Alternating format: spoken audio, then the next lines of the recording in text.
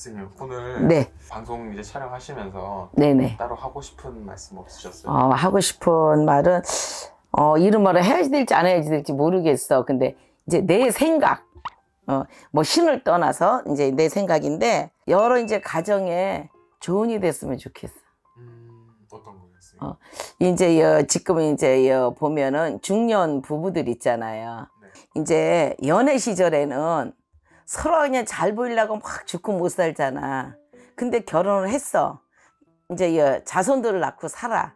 낳고 사는데 이제 서로가 알 걸 다 한단 말이야. 네. 알다 보니까 짜증도 내고 화도 내고 막 이러잖아. 근데 그것까진 좋아.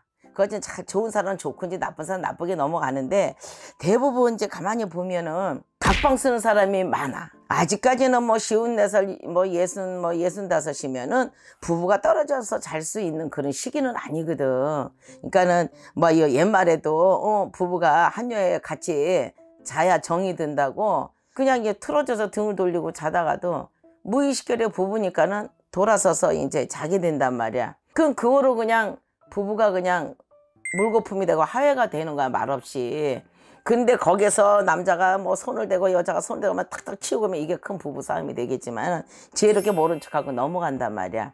그래갖고 이 살면서 그렇게 뭐 이혼을 하고 막 이런 게 없는데 지금은 가만히 보면은 뭐 시국이 이래서 이런 것도 있겠지만은 그렇게 이 하는 사람들이 많아. 많아서 좀 안타깝고 기왕이면은 또 부부만이 문제가 아니라 거기에서는 두 분이서 난 자녀들이 있잖아. 이 자녀들도 생각을 해야지. 만일에 나중에 뭐 아들이건 딸이건 결혼했을 적에 두 부부가 이제 같이 부모들이 있는 집 자손하고 없다는 자손하고 마지못해서 없는 사람 어쩔 수 없겠지만 없다는 사람하고 차이점이 있어. 왜? 와서 상의하는 사람은 아, 이 집에는요 우리는 부부가 다 있는데요. 뭐 며느리는요 뭐 아버지가 없어요. 엄마가 있어요. 뭐 재혼이래요. 막 이래. 그러면 이거는 좋지 않다는 얘기 아니야.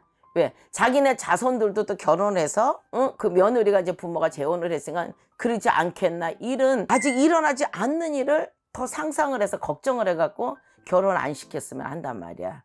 근데 그거는 자기네들이 주어진 저기야. 그러니까 나는 이 부부들이 내가 제일 이제 하고 싶은 얘기는 떨어져서 각방을 쓰고 이러지 말고 같이 생활을 했으면 좋겠어. 그래야 부부가 더 정이 더 가고 또 남자분들은 그냥 예전에 연애할 적에 안 그랬지만 너무 말을 막말한단 말이야. 이것도 부부간의 신뢰야. 여자도 자존심이 있어.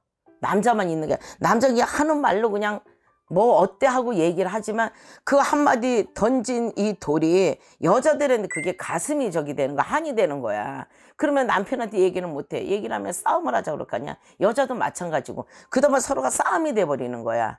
그러는데 말을 못하고 그러다 보면 이 만일에 여자분들이 남자들한테 그런 저기를 이제 당했을 적에는 잠을 못자.